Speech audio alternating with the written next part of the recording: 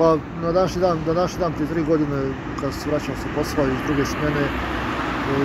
eh, nešto iza 20 časova, oko pola devet, eh, na večer bio je kišni avgustovski dan, neobičajno kišovito vrijeme za, za to doba godine.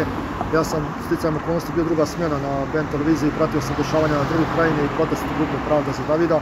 Nakon tog protesta i završenog posla u montaži i završeno u stvari smjene, otišao sam kući, parkirao auto da bi me na parkingu sačekala dva, dva, dva momka i napali teleskopskim palicama. Ostalo je manje više poznato.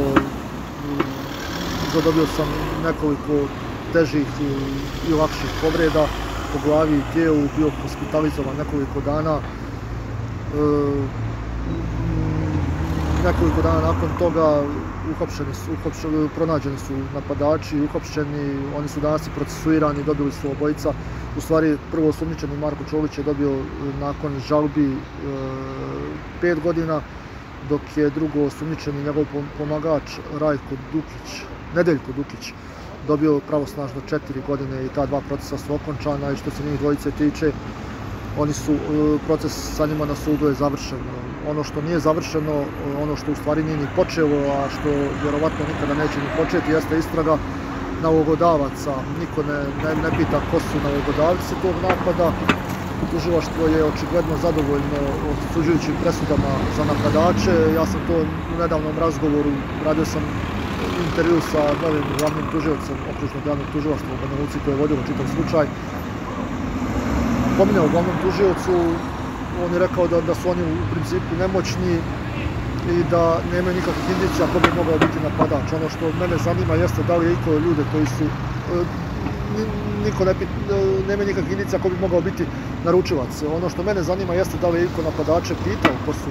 naručioci, da li mi ponudio bilo kako, ja sad laički pričam, nagodbu za to da otkrije imena nalogodavaca i slično. Očigledno je da to niko nije pitao, da niko nije išao u tom pravcu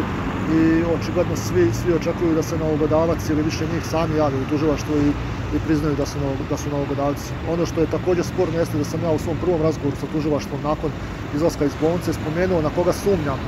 Jasno sam rekao naravno da to ne mogu ničim dokazati, ali da sumnjam zbog određenih stvari od ranije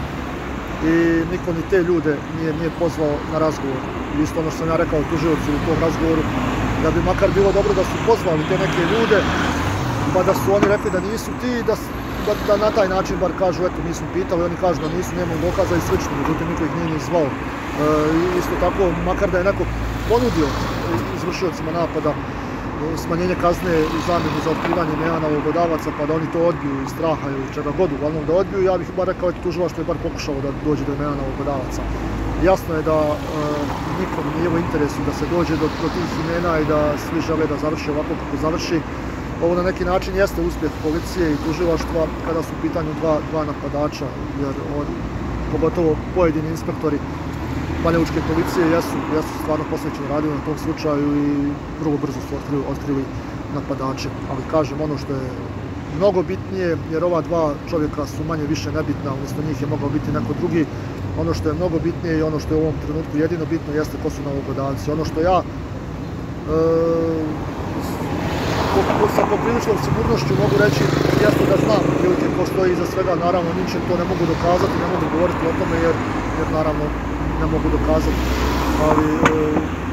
ono samo što mogu reći jeste da je politika u Republike Srpskoj dobro umješana u sve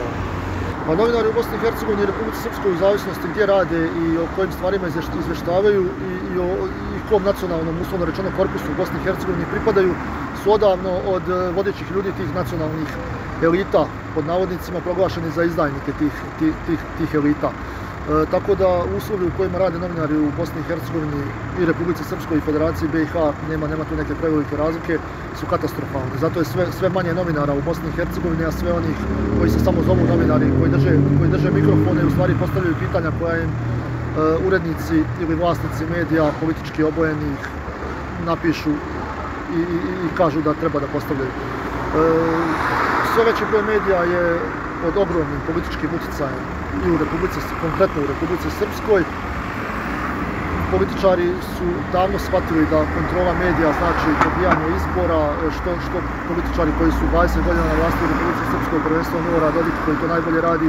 ali su to shvatili i opozicijani političari koji pokušavaju da, da, da, da budu dio vlasti u Republici Srpskoj. E, sloboda medija dekorativno postoji, e, osim ovog mog slučaja e, nije bilo nekih težih fizičkih napada, govorimo sad o fizičkim napadima na novinare, međutim ogroman je financijski pritisak, ogroman je ogroman je politički pritisak, vrijeđanje, nazivanje ljudi izdajnicima i slično, što, što, što naravno nije normalno, jer e, ja, ja uporno ponavljam kad god me neko pita jedini izdajnici i, Republike, i Republike Srpske i, i, i Bosne i Hercegovine u krajnjem slučaju, opet kažem sa koje strane se posmatra zavisi, su oni koji obavljaju i obnašaju vlast u Republike Srpske i Bosne i Hercegovine, jer oni rade protiv interesa naroda u Bosni i Hercegovini, dok novinari rade u interesu društva kao novinari svakog svijetu.